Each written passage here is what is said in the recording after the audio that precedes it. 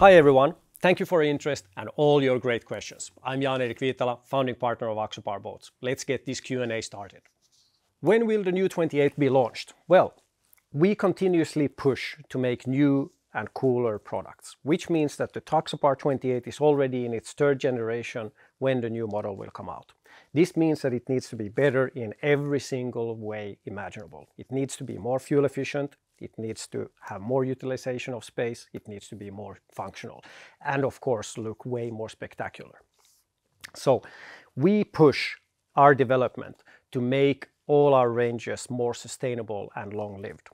So we don't push to make a new model every single year, but we do push to make every new model year improved. So every single model year we do, we introduce new functionalities, new options, new modules that makes and improves our products. But to make a completely new range, we really really, really try to push to make the ranges long-lived in terms of sustainability. But the new 28 Mark III will be launched when it's ready. How come the helm seats don't recline on the Axopar 28 cabin? Well, they do swivel and turn around so that you can sit uh, and facing people on the aft sofa, but they unfortunately don't recline. When is a new 37 coming? Well, we compete only against ourselves. So in order to make a new product, a new better product, we look at how can we improve our own products. We really don't look at the competitors in this sense.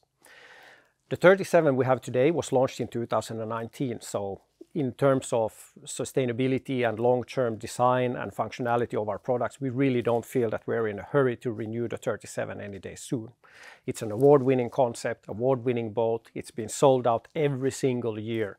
But again, something to remind you, every single year we update our boats with new options, new modularities, new functionalities. So in that sense, every year we introduce something new on our ranges. Any plan to adapt some of the new features from the 45 to the new 37 as options? Well, yes, definitely, for sure. Uh, what they will be, well, you will see them later, but for sure, every single development we do, no matter if it's on a 22 or 25, 45 or a 28, 37, we mix and match new functions, new options, new modularities, and try to really think how can we adapt an option for a 45 or an idea or a concept from a 45 even to a small boat as a 22. So In that sense, that's what makes our days tick, and that's really what makes us wake up in the morning really thinking about what cool things we could do in the future for our range. What's the lead time between order and delivery of a new 45? Well, this depends a bit on your dealer in your region. So for us, uh, as a factory, we're pretty much sold out for one and a half year already on the 45. We launched it in Palma, I think like four weeks ago. Tremendous success. I think we have, as a factory, over 100 orders already. So uh, I would say this, check with your dealer for availability. Is there any thought of doing a rear door entry version of the 45 cross cabin? This is something that we hear now and then.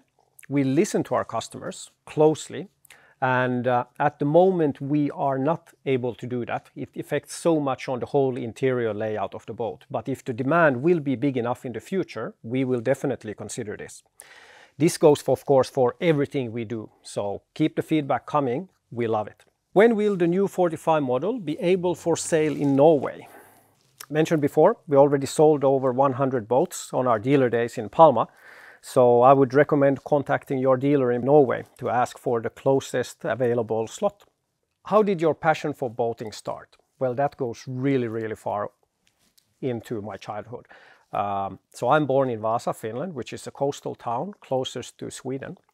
We are known to have small cottages out on the islands. So every weekend you always go out to your summer home. Well, at the age of eight, I actually started working uh, for a cruise ship or or a small sightseeing uh, uh, ship that took tourists out on the islands around, and I was more or less the guy taking care of the tickets, brewing the coffee, and and things like this. So that's at my age of eight, and I think I finalized my first boat, or I built my first boat when I was age of 15, which I actually continued from my father. So my father made the interior, exterior of the boat. I fulfilled it and made the interior of the boat at age of 15. How could Axopar develop so fast? Of course, the quality of the boats, but what else? Bravo. Well, simplified, stay nimble, stay close to your customers, understand their needs and what they want, uh, try to stay out of the corporate mindset, try to keep the company on an entrepreneurial spirit, make fast decisions, learn from your mistakes, develop, evolve, compete against yourself. What is the lengthwise oriented step above the waterline for? So this probably means the second chine we have on every single Axopar. That has actually become a design feature of Axopar, but there is way more functionality into that chine. So all Axopars are based on rigid inflatable boats, rib boats, and rib boats have big pontoons on the sides. So we were thinking, how can we make something similar to this, not in the big extent of, of a rib boat, but something in the similar fashion. So we added a second chine, and with this second chine, we get an added stability point, so the boat rests way nicer at anchor or at standstill. It also creates bow lift when we're driving the boat in bad weather, so, it, so the hull wants to stay above uh, the waves. Thirdly, when we do hard turns with Axopars, also this second chine actually adds also stability, so the boat doesn't heel over so much and creates this sensational uh, driving experience that all Axopars are known for. How many Axopars exist in Greece? I'm falling in love with the 45, maybe plus one soon. Cool.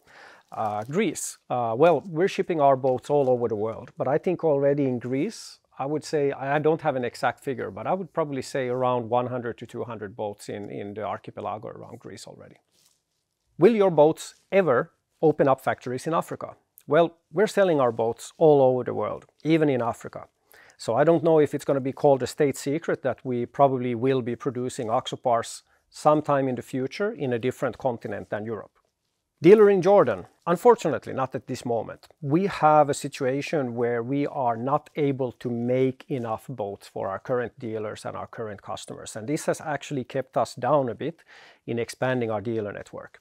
So uh, I would recommend to have a look at our website, axopar.com, and just have a look at the dealer closest to you. But we're expanding every day.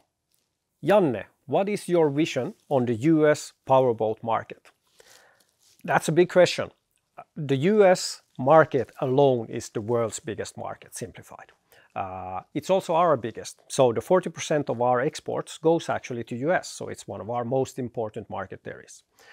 I would say the US power boat market is open today to more diversified products, which means there's a possibility for boats entering from the Nordics and or brands from Nordics and European uh, to enter into the US markets, but they still need to be built to the quality and functionality the US customers are learned to expect from a boat. I also see that there's a possibility and there's a great movement in US to get new boaters by utilizing boat clubs and other ways of owning uh, and sharing of boats. But also at the same time, I see cost awareness rising in US due to inflation of raising prices, raising fuel costs, energy costs, everywhere around. But this is also a super opportunity for Axopar, where our concept really comes into its strength. So Axopars have always been made with full focus on their functionality, their drivability, but also not to forget one of the real key features here is the fuel efficiency, seaworthiness of our boat, but also the real competitive pricing of an Axopar. So here we really truly have a great opportunity in the US. Any plans for a boat with a flybridge? Just a little raised like the Paragon 31. The Paragon 31, to be honest, is one of my favorite boats. It's one of the first boats I was developing and co-founding when we made uh, Paragon yachts in 2008. And I really love the idea of, of the low flybridge. It was done in 2009 and still looking at it in 2022, it still stands, its design and features and functionality still stands the nick of time. So uh, Let's have a look at that. Maybe. Wing doors at the aft. Well, we perfected the gull wing doors in the front cabin already, and now it's a standard on the new 45. So, well, why not wing doors in the aft? Uh, let's see what we can do in the future, but it still always comes down to functionality first. So if we get the functionality right, for sure. Will there be more Mediterrana options in other models? Yes, for sure. Uh, so one thing that I'm happy to announce is that for model year 2023, we will launch the Mediterrana edition for the 37 cross cabin, which also means that the whole interior will also be available as a Mediterrana option. Will power bank slash generator option return soon? Well, we already have the power bank on our 37, We also introduced a new way of doing a power bank on the 45. So for sure, power banks will be the feature for getting more power and running heavy electrical equipments on board our boats like ACs, wet bars, uh, whatever. But as a genset, uh, we don't do those from the factory. Janne, what do you think of foils for pleasure powerboats if you look at the success of Candela foiling Axopar soon? Well, this is a really interesting concept, foils. Um, and foils are some really high-tech uh, gadgets and they require some really high-tech electronics in them as well. So not only is it requiring some special knowledge from the manufacturers to make them work, it also will require some knowledge and special care from the owners. So in that sense, it's a bit of a tricky feature to scale up into multiples and into bigger, wider ranges of boats. Candela, I absolutely love their attitude. Uh, I love their new approach for getting more people on the water in a new way, uh, in, in a new efficient way. As I mentioned, scaling will probably be a challenge for them, but I'm really looking forward to see how they accomplish this.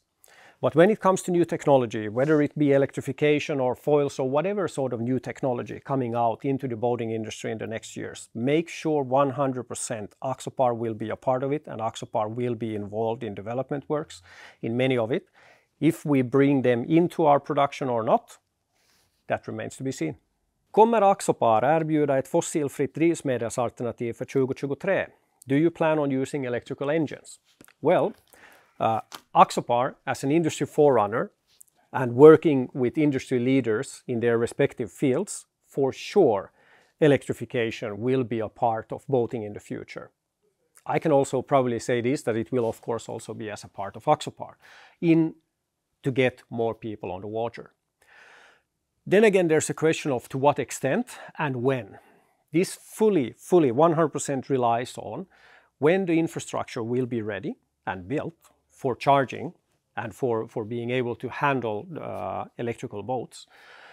When we find more sustainable battery manufacturing methods and we find a good way of reducing costs of this electrification on boats. Just to give you an idea, the electrical engines today, together with their battery packs, are twice the cost of the boat itself. So we still have some work to do in that field. But on this topic, for sure, Stay tuned. What is your opinion about hydrogen fuel for future Axopar models? Well, hydrogen for sure is one strong candidate for future fuels. Again, this comes into the question when there will be an infrastructure. For sure, Axopar will also be looking into hydrogen. Um, one thing to just realize, Axopar boats in our development today are already built in a fashion that if, even if we ship a boat tomorrow, with a petrol engine, that petrol engine can be swapped for an electrified engine and a battery pack later on in its life. So uh, with an Axopar boat, whatever we ship the boats in today doesn't mean that in 10 years from now, that is the way the boat is going to be propelled. So we still have one question. Demanding more merch, clothes, equipment for the boats as cutlery, plates, towels. Okay, demanding. Well, great. Uh, we hear you 100%. So on this topic, Corona slowed us down a bit. The availability was less, the, the way of uh, developing these was uh, you know, harder to do during Corona times. But we're getting back on track on this topic, so stay tuned. So thank you for reaching out to us. We love and appreciate all your valuable feedback. This is what makes our Axopar experience and your Axopar experience better. See you soon on the water, sharing that Axopar adventurous spirit.